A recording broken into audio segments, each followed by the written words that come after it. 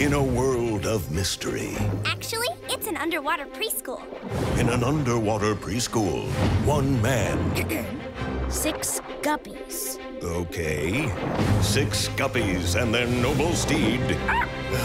And their swimming puppy will set out to unlock the secrets of the universe.